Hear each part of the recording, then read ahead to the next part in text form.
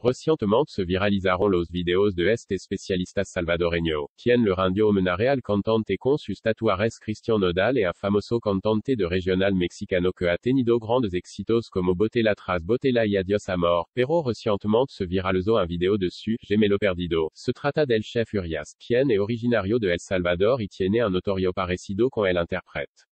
de Dim como quieres, esta semeranza se vio acrecentada cuando empezó a rugar con los filtros de TikTok y grabó varios videos usando los tatuajes de Nodal, en uno de ellos, realizó un platillo en la sección que llamó, cocinando con nuestro Cristian Nogal, en otro de ellos simuló que estaba cantando Ya no somos ni seremos mientras caminaba por la cal, al darse cuenta de que esa publicación se volvían viral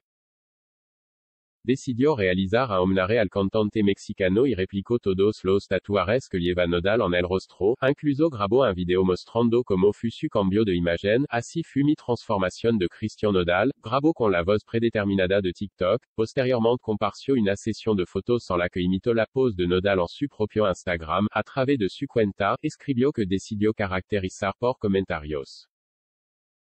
que le hacían en su círculo cercano, aunque él no cree que su parecido si tan fuerte, decidió rendir homenaje al joven de 23 años. Todo comenzó con una broma y un par de personas que decían que tenía un parecido con arrobas nodal, puis la verdad no creo que tanto, pero mi da gusto puis un artista con gran trayectoria que además de cantar escribe. Cuando lo imite lo con mucho respeto, saludos a todos se vienen cosas nuevas.